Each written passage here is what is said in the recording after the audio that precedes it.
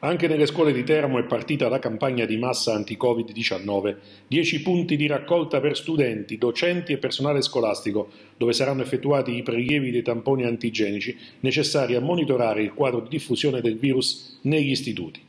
Per le scuole superiori si tratta del primo screening, in totale 11.000 persone interessate. Saranno tre giornate intense perché lo screening si farà sia la mattina che pomeriggio. Per le scuole superiori durante l'orario scolastico, quindi i ragazzi usciranno dalle classi per venire, come potete vedere nell'aula magna, eh, a fare sottoporsi allo screening. Per quanto riguarda invece le scuole eh, elementari e medie verranno di pomeriggio accompagnati dai genitori. I ragazzi delle superiori con una, diciamo, un'autocertificazione da parte dei genitori hanno autorizzato la possibilità di poter fare lo screening.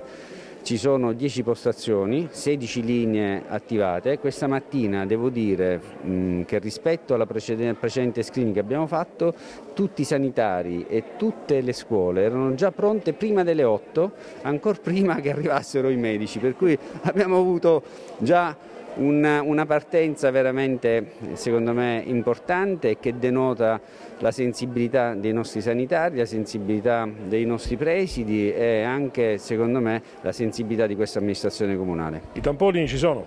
I tamponi ci sono e laddove dovessero terminare perché l'affluenza dovesse veramente avere dei numeri elevatissimi siamo già d'accordo con la protezione civile regionale per andarli a prendere in qualsiasi momento. Quindi il problema dei tamponi non c'è, c'è semplicemente di stare tranquilli, di pensare di sottoporsi allo screening in modo tale non solo da vedere lo stato di salute personale, ma anche pensando ai propri amici, ai propri colleghi, ai compagni di classe ai professori e a tutta la comunità, tutta la comunità scolastica.